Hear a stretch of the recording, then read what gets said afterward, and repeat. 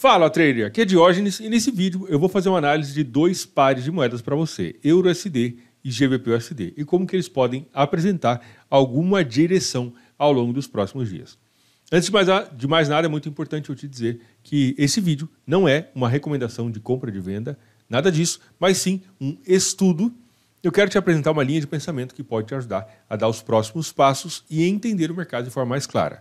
Se o que eu te apresentar aqui fizer sentido para você e estiver dentro do seu plano de trading, você pode considerar tomar uma operação, entrar em uma operação de compra ou de venda, seguindo o seu gerenciamento de risco.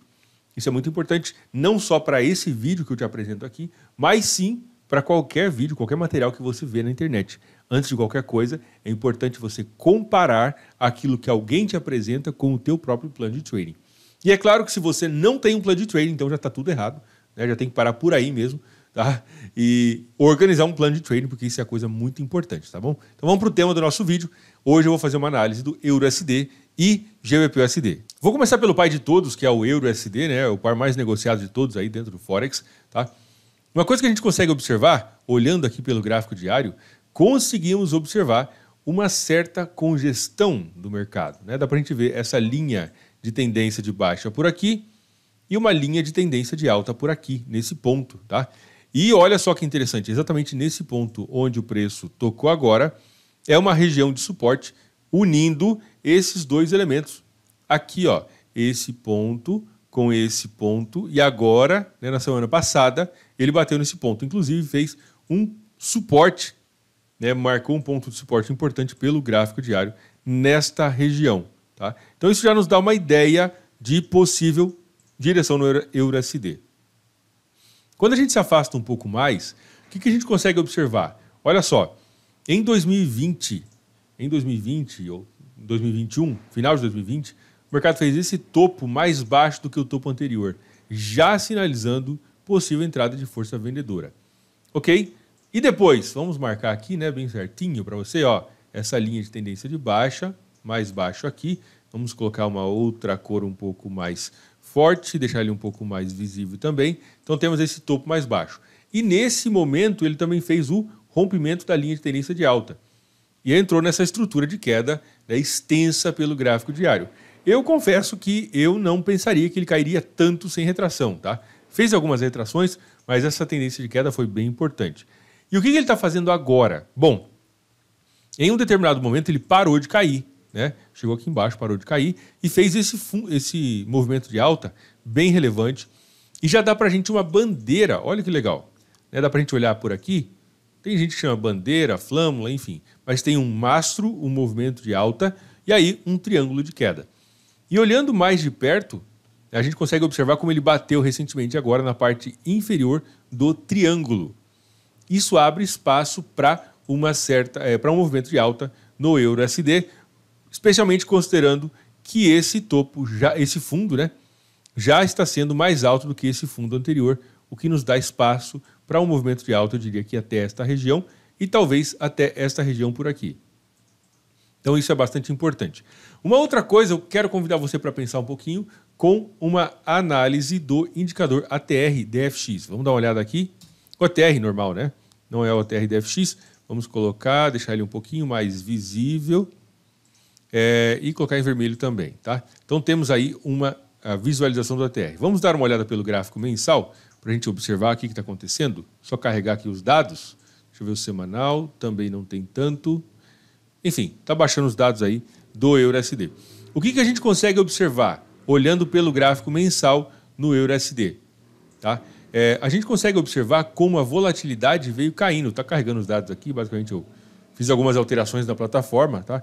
Mas Perceba o que, que vem acontecendo no EURUSD desde 2008. O que está acontecendo?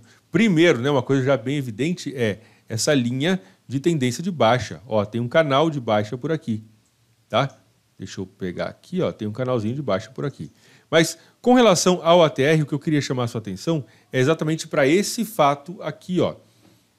A volatilidade esteve altíssima em 2008, 2009, Tá? E a volatilidade veio caindo. A gente pode traçar, inclusive, uma linha de tendência de baixa aqui, ó. Vou colocar de uma outra cor para você ver mais facilmente. colocar aqui em azul, tá? Olha só, isso aqui é uma linha de tendência de baixa da volatilidade. Euro-SD está perdendo volatilidade ao longo dos últimos anos, tá? Estava achando os dados aqui, por isso que o indicador está se ajustando.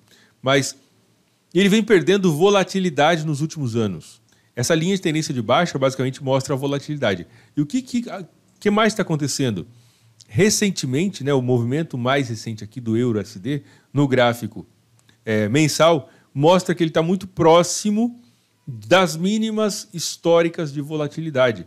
Ó, aqui é a mínima tá, histórica de volatilidade, foi lá em 2020, janeiro de 2020, depois aumentou, e agora está muito baixo. Isso, que, que acontece quando nós temos um oscilador como esse? A volatilidade oscila também, ela aumenta e diminui. Então, se a volatilidade está aqui na, nessa parte de baixo né, do indicador, isso já nos dá uma ideia de que pode haver um aumento de volatilidade nos próximos meses. Tá? E aí, então, para o EURUSD, eu pensaria que ele tem boa chance de talvez vir buscar esta região aqui ao longo das próximas semanas, dias e semanas, e talvez um aumento de volatilidade, eventualmente rompendo essa linha de tendência de baixa, tá? chegando aqui e rompendo para subir mais. Um outro ativo que está parecido com o EURUSD é o GBP-USD. Pelo gráfico diário, o que, que nós temos? Mesma, uma situação muito parecida. Né? Temos esse topo aqui em cima, lá em 2020, 2021, né? uma entrada, uma estrutura de queda que se formou. Aqui teve aquela instabilidade política lá no Reino Unido, tá? por isso que o, a Libra caiu tanto, subiu. E o que está acontecendo recentemente? Conseguimos observar uma linha de tendência de baixa por aqui, nesse ponto, com falso rompimento da linha de tendência de baixa, e uma linha de tendência de alta nesse ponto por aqui. Então está em um triângulo, tá? Mas olhando mais de perto pelo gráfico diário, conseguimos observar esse, esse movimento de é, empurrar, né, como eu chamo, esse movimento aqui de alta bastante importante. Esse movimento de alta se equiparou a este movimento de queda anterior, mostrando uma substituição da força de queda anterior por uma força de alta agora que começa a se movimentar. Uma retração mais fraca para a média de 200 e o candle de hoje já mostrando uma entrada de força compradora importante. Tá? Não conseguiu romper a lateralização é, recente, que a gente pode observar, isso aqui é a lateralização mais recente ó, do GBP-USD, mas ainda assim já é um candle, diria que bastante importante para o gráfico diário e que tem chance de continuação do movimento de alta. Se a gente fizer a mesma análise no GBP-USD, considerando também o ATR, vamos colocar aqui o ATR, tá? a gente consegue observar que também no GBP-USD o ATR está em níveis muito, muito baixos de volatilidade. Tá? No próprio gráfico mensal, a gente consegue ver como ele está, inclusive, no nível mais baixo de todos da própria volatilidade do gráfico mensal. Olhando para cá, pelo gráfico mensal, a gente consegue ver o quê? Candles muito pequenos. Deixa eu apagar um pouco esses índices, essas setinhas aí. A gente consegue observar que os, nos últimos candles foram muito pequenos. Olha o tamanho desses candles. Aqui é gráfico mensal. Sendo que antes, né, em outras ocasiões, ele teve candles muito grandes. E agora, ó, está bem pequeno. Isso pode estar, né, a gente pode estar a ponto de começar, talvez, aí ver um pouco mais de volatilidade, entrada né, de movimento direcional no GBP-USD ao longo dos próximos dias e meses. Tá? Um movimento, um ponto de interesse natural é essa região de resistência. Aqui também a gente estaria falando de um movimento de alta de uns 200 pips em um primeiro momento, e se ele conseguir romper para cima, talvez buscar este outro nível um pouco mais para cima ali em um, em primeiro momento. Né? Daqui 200 pips e daqui aqui a gente estaria falando de 450 pips. Está considerando também esse fundo mais alto. Deixa eu aumentar um pouco para você. Este fundo, que já está mais alto do que esse, que já está mais alto do que esse, sequência de fundos ascendentes e esse nível aqui do mesmo, mesmo nível, tá? Então, basicamente, é isso, né? essa análise que eu queria trazer para você. Quero convidar você a fazer um estudo da volatilidade, que isso é muito importante porque vai te dar insights que outras formas de análise não vão te mostrar.